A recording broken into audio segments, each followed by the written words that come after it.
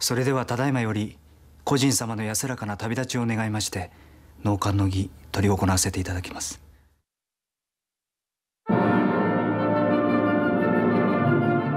解散します。田舎に帰る山形の。採用。えちょちょっと待ってください。どんな仕事？を納棺。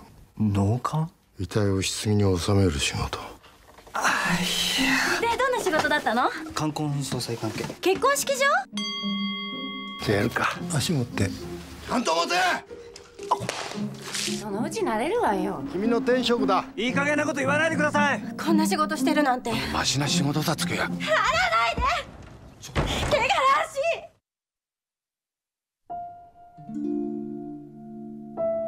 別れの場に立ち会い故人を送る。それは何より優しい愛情に満ちている。あいつ今までで一番綺麗でした。やってみるかい？はい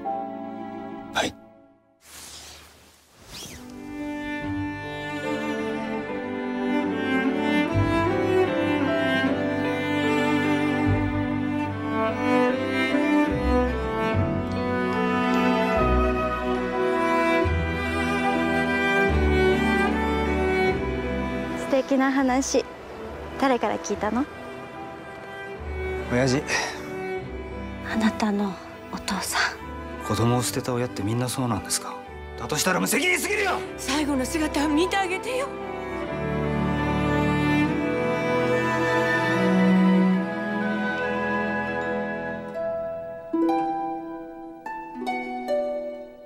送り人